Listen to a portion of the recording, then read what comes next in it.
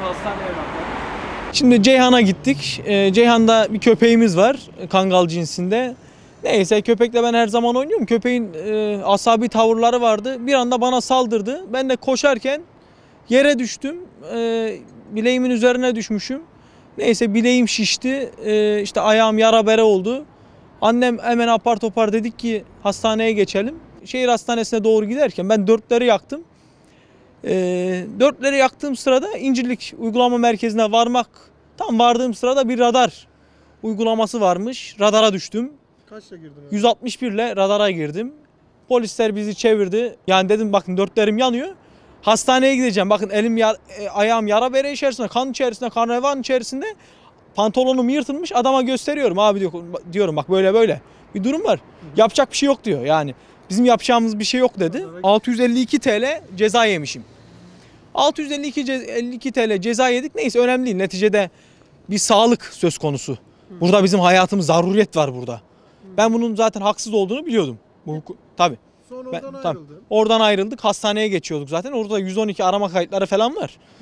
Ee, hastaneye geçtik. Neyse gerekli hemen tahlilleri yaptı. Film çektiler, röntgen çektiler. Sağ olsun e, sağlık çalışanlarımız bayağı ilgilendiler bu pandemi şartlarında.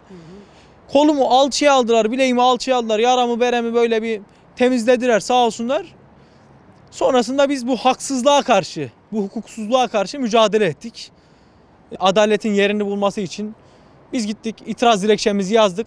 Adana 2. Sulh Ceza Mahkemesi itirazın kabulüne, yaptırımın kaldırılmasına diye Türkiye'de emsal, ede- emsal teşkil edecek bir karar verdi. Çok güzel bir karar aldık. Türkiye'de şu an bu karar emsal teşkil edecek. Ya-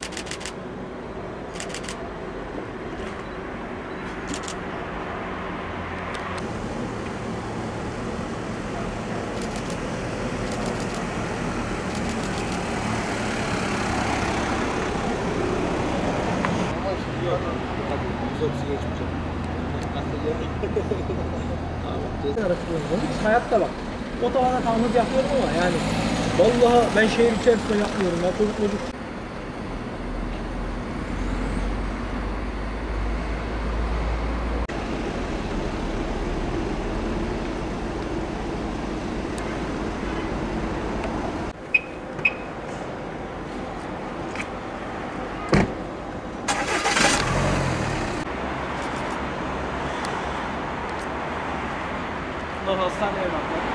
Şimdi Ceyhan'a gittik. Ee, Ceyhan'da bir köpeğimiz var.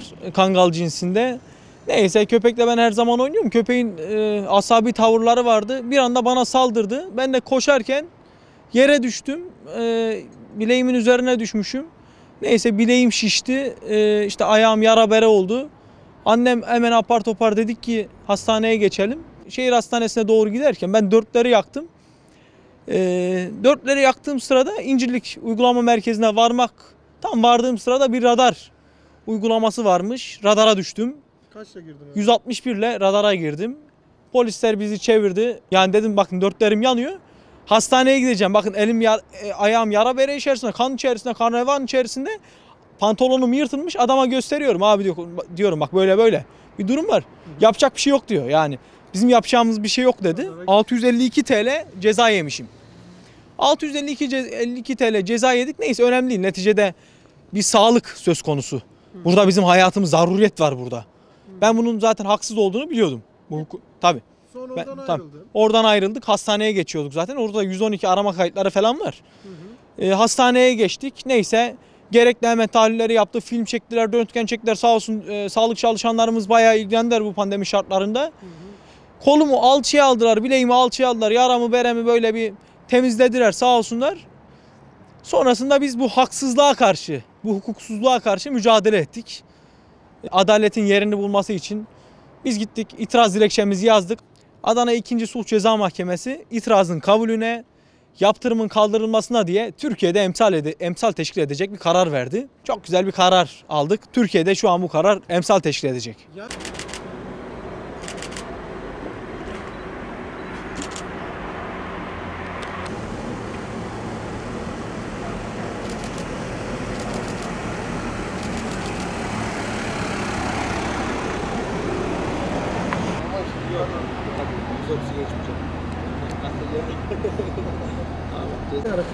Hayatta bak.